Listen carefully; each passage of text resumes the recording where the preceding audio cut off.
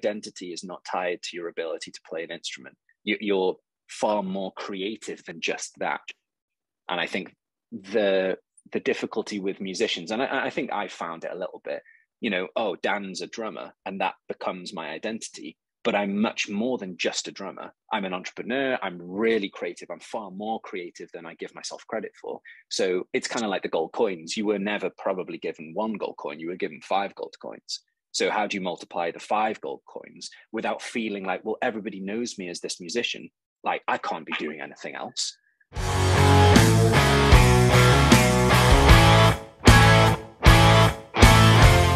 How have you been since the last time we spoke? Yeah, good. We um uh uh, there's a particular sort of contact relationship that's been going really well with a bassist who um, has been very keen to sort of hang out and play and mm. um, got offered some more gig work, which I need to chase. Um, actually, some sort of more regular club style drum gigs, which would be great. So um, yeah, things have been good. Uh, and I've sort of set basically. I was told myself I was like, January we're going hard because yeah. December was really crazy with all church mm. stuff, basically. Uh, but in general, yeah, pretty pretty good. The um but yeah january i need to be out in person more and i'm going to mm. be posting more. That's those are the targets i'm setting myself the big picture targets. Good. I think ultimately as well you know as we come to the end of the year typically like we need a rest as well to then get fired up for the next thing and there's nothing worse than being burnt out uh, because that doesn't help anybody. So if you can kind of you know now right now just like staying consistent and then ready for the step up is is good because you don't want to be like i need to do it now. You know it's good that you're thinking in january i'll hype up to that moment. Because sometimes we can put pressure on ourselves to to always be doing the next thing the next thing and never actually plan for the the stressful nature of what christmas is generally speaking right? Which is difficult. Totally. And that includes yeah. people that that we want to work with as well. It's not just me yeah. that needs a break; it's the rest of the world too. Probably a bit like, sure. okay, yeah, yeah, as yeah. as you'll notice, like I've been emailing a bunch of business owners in um, in Wales, and I'm getting a bunch of autoresponders saying, "I'm out for Christmas now." You know, which is fine. Like, it's cool that you're doing that. Like, I'm going to personally do that as well. So, uh, like, give myself like two weeks off, which will be nice. Um, but yeah, how, how about the um, saxophonist that you um, that you were talking about last time that we spoke? Yeah, I'll be honest, I haven't really acted much on that. Yeah. Um, we've sort of interacted on social media a bit, uh, mm. which is a good thing, which is a great thing. Yeah. Um, but not loads. I've actually, uh, I've sort of found out that he has a few more mutual friends than I realized um, mm. uh, with me. So that's great. That's really good. And mm. um, just sort of another thing to think about. Uh, mm. But in terms of like collaborations and stuff that we were talking about. I'll just basically I was saying like I think I'm going to set aside every Thursday mm. in the new year, starting on whenever the first one is, like the eighth. Oh, yeah. Uh, and and just and just sort of make things that I can collaborate with people, if you know what I mean. So make yes. tracks just under a minute for the for the gram, uh, or if they need to be, it can be a reel or whatever, can't it? But yeah. um, I'll just put I'll just put a thing together and uh, put myself on it, or text someone and be like, "Hey, do you want to just throw a thing over this?" Mm. And either they'll say yes or they'll say no. And like we talked about last time, it's okay if they say no. Yeah. uh, even if that is like the thing that makes you feel bad, you're like, oh no, wait, you don't have to take everything personally all the time. So, and that's uh, and it's super hard, right? It, it is really hard to get to that space because ultimately you, you know we're we are all are emotional beings so i completely get it. And it never it doesn't necessarily get easier sometimes especially if you're putting yourself out there like consistently all the time. It, is hard it is hard to do that. But i think the lightness that you're starting to like i'm going to go in really light and also batching. Batching is a concept where you will take a day to do seven videos or six videos and then it's you've got them sorted for the the rest of the week or whatever. So i think all that stuff is really good. Keeping the lightness to it is important because you then you know you're going to consistently do it more often than not mm. you know mm. which is really really good really good mm. Absolutely. And I've got um I don't know if we talked about this last time, but I'm in the talks with someone about sort of building a bit of a brand. Um it's just a really simple thing, just like typography that's recognizable. That's the idea. Mm. Just something just and he's a graphic designer, this person is doing the work and he loves the fact that my first name and my last name have the same number of letters. He's like, that's really cool. So we can hmm. build you some kind of fun logo. And but that means that once you have once you know what the typography is and as in like the font and stuff, hmm. you can just put that on each video and it just becomes like part of your own image or whatever. For um, sure. I think the simplest type of branding is even just picking a color to stick to. Like you, you may you may have noticed like I broadly speaking, on some of my socials, I've kind of done green as my color, and then yeah. on my on my business stuff, it's like more pink. So I, I've started to just you know stick to the to the colors and and has that kind of consistency. So long as it doesn't become, you know, a kind of a massive project, right? That uh, it's another thing that you have to do because ultimately, yeah. if the main goal here is to pay your rent a brand doesn't necessarily always have a direct impact. It will have a long term impact, but you know, as long as you're still making the videos and getting yourself out there, making the connections, and this is just a nicety to add to that, that's great because I think adding the whole um, professionalism, there's no harm in doing that. So long as it doesn't become, um, you know, oh, I'm now going to create t-shirts and jumpers and headed paper and becomes basically a distraction. So as long as you have that all yeah. in the right place, then it's completely fine. There's no nothing wrong with personal branding. It's it's a good it's a good thing. It's a good thing to have. That's good advice. I like that. Yeah, I've never mm. been a huge fan on the whole making things outside of music your income because of your music. Like the biggest mm. earning so at the moment, some of the biggest earning musicians are ones that own alcohol companies now. I don't know if you'd heard about this. Mm. Right. And Ryan Reynolds is a good example when he did his aviation gin thing. I know he's mm. not a musician, but that whole marketing campaign, which was great, made yeah. this gin really popular. Everyone was like, "Oh, it's the Ryan Reynolds drink," and then he sold it, and I'm yeah. sure he still has a deal because he still markets it a bit. But now, some of the biggest musicians, generally those who retired like 10, 20 years ago, mm. they're not like Paul McCartney, who just doesn't need to worry about anything ever.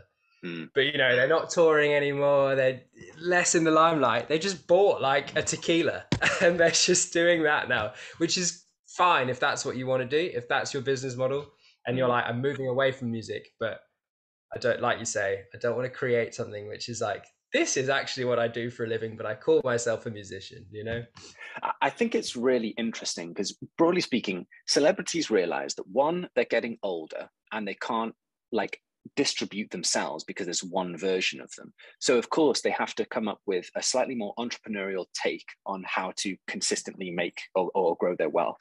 Plus, also, they might not acting might have been the first thing, but they know actually I, have always wanted to create a you know a, a, drink or something like that. Like The Rock is another good celebrity that, that's got lots of additional brands and additional things on the side. And I guess that there's no harm in doing that. And I think for you, it might not be an alcohol, but it might be you know you know there's a certain um, kind of mechanism uh, within your industry that could be helpful for someone else to know. For example finding gigs. Like maybe you have a list of a thousand venues and here the a thousand emails of places you can play. So you would then mm. sell that to musicians because you used you've used it yourself and now you're sharing it to others. You know musicians are always looking for pr so is it that you create a blog that gives them PR for a small fee. You know, so mm. I think it can. Um, I, I understand. You know, sometimes you want it coupled, but also it's okay to have a slight pivot to the side as well, um, because mm. ultimately you're helping people still, right? And it's then in line with your music stuff because you use this stuff anyway. Like you need to contact a bunch of venues to see if you can get gigs there. So why not share that information and sell information, basically? Yeah. Okay. I like that. Yeah. Mm. And it, and it doesn't happen. It doesn't have to be uh, an alcoholic drink or a energy drink or anything like that. But it also could be like there's. I, I think we're much more fluid in the sense of like your identity is not tied to your ability to play an instrument. You, you're far more creative than just that. And I think the the difficulty with musicians, and I, I think I found it a little bit.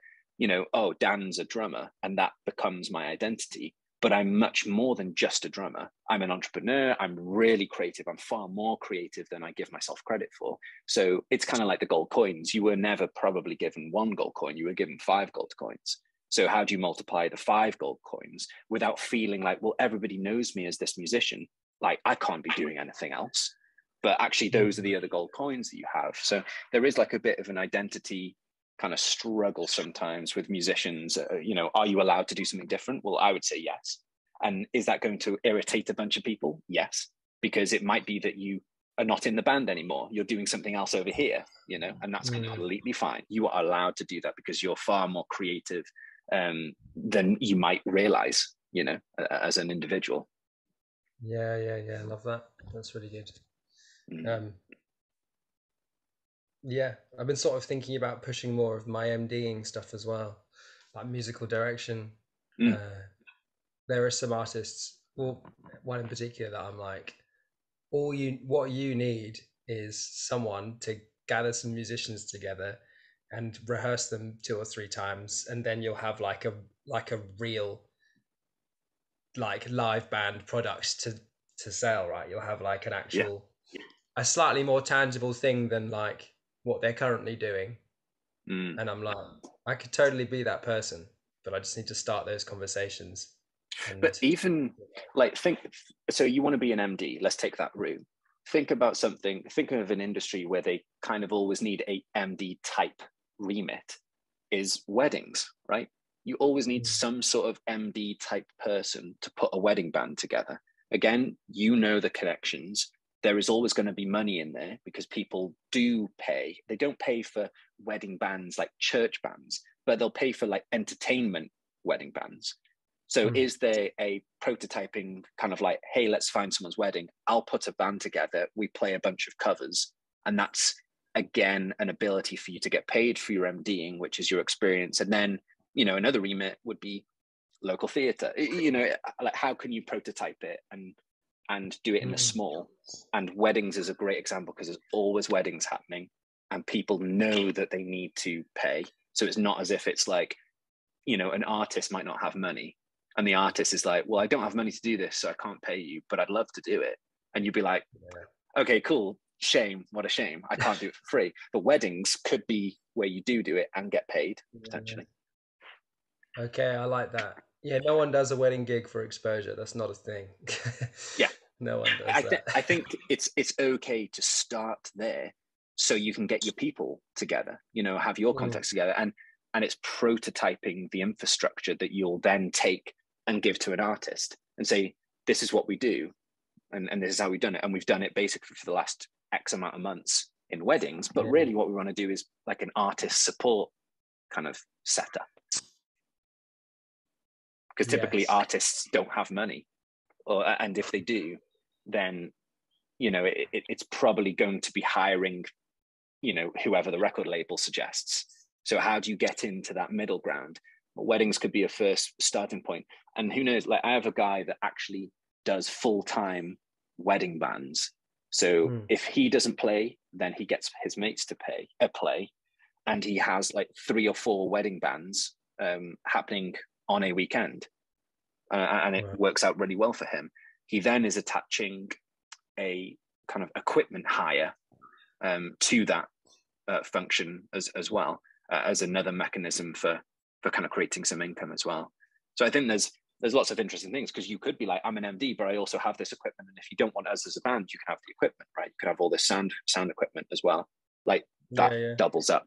It's harder because there's a, the whole like delivery and pickup and stuff. But I mean, yeah. we as musicians are used to setting up and packing down. So I mean, why not get paid for it, right? yeah, yeah, exactly. That's it.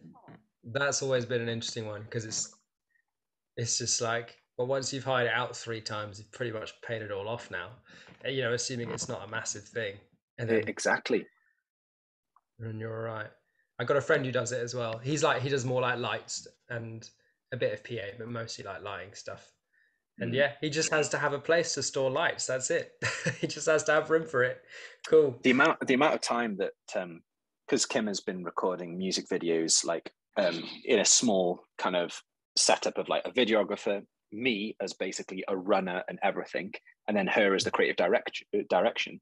And we've been using that Fat Llama website for borrowing camera equipment or lights and stuff. Yeah. Again, I turn up at someone's house, take the stuff, and then deliver it back to them. So I think there is a a really nice kind of like well, there's always like equipment hire kind of stuff. There's always like decent decent money. Um, if that's the kind of route that you that you wanted to do as well. Um, mm. But yeah, ultimately, you really want to be playing and being paid to play rather than hiring out equipment, of course. But yeah, yeah, it's just it's it's in this like rental culture where you can rent out your car if you're not going to use it for a week, or you can do you know you just like this is just taking up space or Airbnb my house whilst I'm away, or whatever it is yeah. it's becoming yeah. more of the norm, right? Isn't it? Oh, of course. Yeah, nobody owns anything. We rent everything. Yeah. Yeah. yeah. and if you can get into about... that, people, yeah, go well, Well, I was just saying, uh, I've been thinking about trying to release stuff as well, but what I don't, uh, but what doesn't need to become my main thing is being like a um, like an artist, like marketing marketing myself or trying to get gigs under my own name, which sounds really backwards. Um, but I think this whole going back to the earlier conversation of collaboration and mm. um, working with contacts and people is just a is is a continuation of this thing of like I want to play with people in whatever capacity, and whether yes. that's in a wedding yes. band with an artist or whether that's with a jazz group because I have loads of mutual friends, whatever that thing is, it's like yeah. great. But the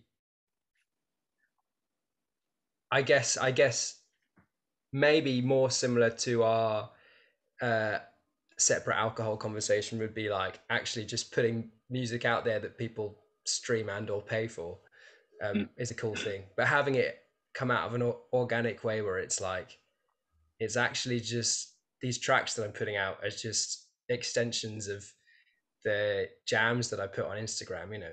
Mm. So I have this kind of theory that the jams or collaborations or whatever, the one minute videos that go on the gram that do well or I actually genuinely really like, mm. I can just sort of develop, turn it from a one minute idea into a three minute idea. 100%. And do it all at home because I got all the microphones and stuff here. And um, there was an artist that did exactly that. She basically filmed, oh, sorry, recorded like 10 or 12 30 second tracks. So then people could apply to their TikToks and dance to or whatever. And exactly as you were saying, she used that as an A B test to see which tracks were most popular and then would fully mm-hmm. produce the ones that had the greatest kind of like uptake in being applied to different tracks. And I think that's great because ultimately, even though there's an ego side of like, I create music for my own satisfaction, but really there, there does need to be a blend of, you know, creating music that inspires other people. And if this resonates with other people, then why wouldn't I create it? And yeah, yeah your your approach is great. It has happened and, and always does happen. Create something very, very small. And if there's a bit of an uptake, produce it into a full track. I, I think yeah. there's that is a well, a really good, well thought out approach uh, that keeps it light, right? There's no point producing a track that no one really is into unless you want it for your sake, right? Yeah, for your yeah. benefit. Because we know that streaming is it is all about volume. Like mm. the p- percentage or fractions of pennies that you would get from a stream. It's all about volume. Or the other way to make money is potentially creating tracks that can get synced to TV or, or film. Right, there was a guy mm. at church called um, Steve Tate, and he's actually now composing um, full-on tracks for adverts and, and films and stuff. And I think that's another really, really good way. Again, you have no like artist profile. You're just someone in the background that's creating these um, or composing these things and, and putting it together. Um, and it's mm. less, you know, about you and it's about the collaboration that, that that kind of like facilitates. Yeah, love that. I've got a friend doing that or studying that. He's in Chicago, which is really cool. Mm. Uh, studying a master's in like film and gaming uh, composition. Mm. I love that. He reached out to me recently, actually, so we've sort of reconnected, and I'm cool. like, that's another useful sort of contact thing there. I don't yeah. know what he plans yeah. to do after graduating in Chicago, though, whether he's going to stay out there or not. But these days distance isn't a trouble hence our conversation here right oh of course yeah different time zones different regions and all sorts of stuff uh, going back to kind of like wanting to really specifically play within jazz bands have you ever thought about um, kind of or, or do you know how they source the jazz band for the pizza express stuff i don't know the specifics for that venue i know uh no short, uh, short answer is no because uh, correct me if I'm wrong because you might know more than me, but don't they have like weekly jazz bands or or something? I'm not sure if it's the same band or, or something. And again, you're wanting ultimately to couple in, like you want to do more of this collaboration band, like and specifically if it was jazz, that'd be great. Like, and ultimately you want to get paid for it. And if you can't get paid for it, then you need to create something else that pays. And and that's my setup. My setup is I really want to do coaching or mentoring, and typically, if you tie that with having someone to pay for it, it might not happen. Like if I have zero, if I have zero clients, then I can't do what I want to do. So yes. decouple it from having the financial backing to be like, okay, I'll create this agency, and this agency will pay for the fact that I can have these calls for free. And, and, and that is a fine, fine setup. So for you, if you can couple it together and figure out, okay, can we play a, a gig here uh, uh and kind of do one of the jazz bands? I'm sure they that is an actual paid gig. I, I hope and then that could be great and if not is there the whole alcohol business that you've got that would then pay for the fact that you could play anywhere and, and do anything you know um because yeah. we know that streaming is a little bit more of a long game syncs is a more middle term kind of thing but again it's uh, it's difficult because your track you would still have to be creating tracks that wouldn't fit to adverts and fit to briefs and stuff like that which again is time consuming and you might not get those um, kind of things, you know. That's where teaching has been for me though. Teaching oh, is awesome. my so if I if I have no gigs in a month, which happened a lot through lockdown, um, yeah. yeah, teaching and the church job are the, my two sort of. If if I if all I earn is my money from that, I can I can do a month. That's fine. Um, yeah. So this is the the the the place I'd like to be in is where uh, I mean, let's assume I stay in this flat for the rest of my life. It's not going to happen, but you know, my rent is the same and my outgoings are all the same. It means that any extra music work I get on that, on top of what I have now, is just like extra income, arguably disposable. Not that that's the great word for income because yeah, you shouldn't ever just dispose of it, but you know what I mean. Um, so then, uh, so so yeah the teaching and the church job are my version of what you're talking about as in like awesome. making fun and i love teaching. I'm i'm very passionate about it. I'm yeah. quite good at it. But um and is that specifically guitar? Or is it drums it's drums? sorry drums are my main oh, yeah. instrument. Yeah, yeah, it's mostly yeah. drums. I do teach a bit of guitar and piano but i get most of my teaching through drums which is great. Oh um, sweet because where are you in london what what area are you in I'm in Mile End. I'm right by the new church. All right. Because again, like for the for the jazz style stuff, Greenwich is a good place. That there used to be a bar in Greenwich where they had live jazz, and again, the the Royal College of Music. St- I'm sure there's mu- music stuff around Greenwich um, uh, as well that might have more teaching opportunities down that end. But I'm sure you yeah, are you teaching locally. It's Trinity. I actually, I mean, most of it's online still. Oh, so uh, even better. So I just a laptop. Mm.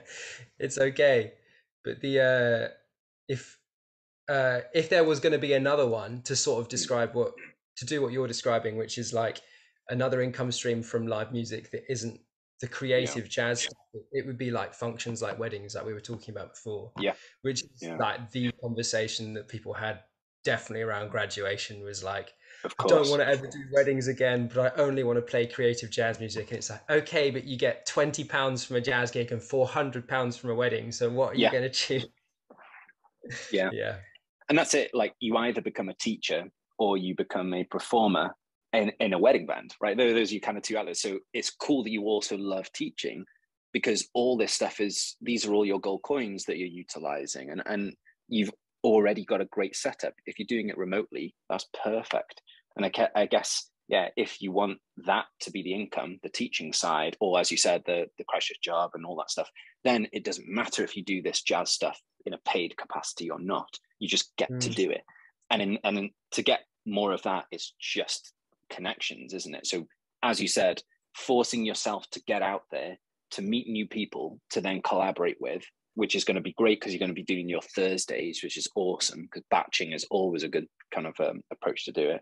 And yeah just putting yourself out there for more collaborations to come your way which i think is great. Mm. really really good. And then that's your setup right? You don't need to pay get paid for any of those collaborations. And if if a great track comes out of it and you put it on um, put it through distrokid and it gets distributed or or cd baby or whatever then that that's great as well. Mm, absolutely. That's the thing. And like like you said the streaming stuff isn't a long-term thing yeah. it's more yeah. it's just a thing it's just yeah. another thing if someone googles me or it's another link on my spot on my instagram or whatever i'm like i can send you to this if you enjoy what you heard if you haven't enjoyed yeah. it's fine it's yeah exactly it's it's trying to keep everything super super light right so it's mm. not it's not too you know streaming has to work well streaming is a volume game so it's going to be a long long time before you're covering your rent with streaming you know it's it's, it's much much harder but, absolutely uh, minimum wage to earn minimum wage on streams alone on spotify you have to have uh 1.1 million streams a month hmm. which mm. most people aren't because yeah. you know i think there are 300000 minutes of music uploaded to spotify every day and how mm. many of those are like new artists who think they're going to have a lucky break. it's mm. just impossible to stand I, I, I, think it's um yeah, it's very difficult, and the way you do it, it's all about the community that you drive. So mm. the people that come to your gigs, how do they know when you're playing next? Right, that they might not. So how do you how do you keep that going? You know, this whole like mailing list is still consistently a good idea because that's yeah. how you you keep your following going and i guess mm. coming back to like the first time we are chatting about like kind of that management of contacts and stuff having a mailing list to be like hey going to be down with these three artists in greenwich this week if you're up for it like come and come and see us play and and i think that's always a good thing about building that community of people that um that mm. do like your stuff that will stream your stuff that will pay the tickets to come and see you and all that stuff and again that's a slow burner um, as well. Totally. I've got a friend George George Holiday who um, I might have told you about him last time, but he uh, he has a very committed fan base. I don't know how many mm. followers he has on Instagram, about four thousand. I might just have a little peek actually. Um, but he's of the opinion, which I think he's right, uh, mm. that having a committed fan base that's a bit smaller is way better than having millions of followers who think you're okay. He's got sure. four and a half thousand followers on Instagram, and um, but of those four and a half thousand followers, most of them think that he's one of the best musicians in the world. They just love him. They, he's a yeah. he's a producer. He releases music, and they're going to be streaming his stuff all the time. But mm. if it's the other way, if you've got ten thousand followers who are always going to stream your song once, then it's like actually, I think I know what I'd rather have. You know, it's exactly that, right? It's the right kind of um, balance of intensity of community, uh, you know, and the streams and stuff, which is great. Well, one thing I would add as well for your like content days, if you if you're doing your Thursdays, and if you know that teaching is something you like to do, I would also just have videos of you drumming to tracks um, as well, because people will be like, "He's a good drummer. I'd like him to teach me." Mm. You know, hmm. so that's a, that's another kind of mechanism. Yeah, I did a thing. I did a thing before. Oh, here we go. I play along and have the music on the bottom. Oh, awesome! Yeah. I'm like playing it, but it's also a thing of you can work through this with me if you want. Kind of how I marketed mm. that. So I was like, here's a track, here's a song. It's Corey Wong. Everyone loves a bit of Corey Wong. It's fun music. Is that this is quite an easy track, really. I, you know, I teach this to people sort of between grade two and grade four, so nothing like super advanced. Mm. Um, it's easy to sort of manipulate. You know, it gets more complicated, but as a teacher, you can always make things easier or make things harder. Oh, of course, of course. But, yeah, um, this is great, and it's having more of these kind of like because um, this is quite a, a, bit of time to put this thing together. So if you can have like the lighter version on your Instagram that's just you playing a cover, and it could be that you don't need any of the notation or any of the theory stuff as first because I think we all love seeing interesting 30 second snippets of something cool and and way more about oh yeah I, I sent you the video about the bass player right um yeah, yeah. Did, did i did you did you watch the video about the solos where he played all the right notes and speed and fast, and then he played all the wrong notes but slow and, and feeling. And people preferred the one where he played the wrong notes, and it was all about feeling. Is the the kind of yeah. the USP, the the unique selling point, which I found was super fascinating. Yeah, and he talked about BB King and Allan Holdsworth, and he was like, "Your grandparents all know who BB King is, and yeah. he's been dead a long time." Allan Holdsworth, who only passed away this year, which was last year. Yeah, they were like, no mm. one's ever heard of him. He's a fantastic musician, but yeah, he shreds. yeah, and I think that's again coming down to the whole um, like ego with with musicians and all that stuff. Like it's okay to like I don't feel like I'm a good drummer from like shredding and doing solos. I hate doing solos. Um, I would much rather just stick with a real solid groove and that's why I am I have done teaching in the past, but I've never felt like I'm a great teacher, more so because of my insecurity of, you know, I'm I don't have all the whistles and bells and all this like super speed and stuff. I'm just a, a solid drummer. Right. And I think it's um yeah, anytime you're putting stuff together to become a teacher, I hope that you feel like you can teach anyone because even just holding a groove is more important than shredding, you know. No, totally. Yeah, yeah, yeah. Which is key. So yeah, I've never had someone come to me and say, "I'd like to learn how to play in thirteen eight, please." And it's just that, no, no, no. Let's get four four sounding good. That's the, yeah. That's what yeah. you want. That's what makes money. yeah, for, people for dance sure. to, you know. Oh yeah, definitely right. for sure. Awesome. All right. Well, I will uh, leave you to enjoy uh, enjoy the rest of your morning or yeah morning afternoon or whatever time it is over Just there. About. But, it's um, still half eleven. Yeah, yeah. oh yeah, so still early. Yeah, that's. Uh, anyway, really good chatting with you, Pete, and we'll speak again Likewise. Soon. Thanks so much for this. Cheers, right. mate. Take care. Bye. Too. Bye.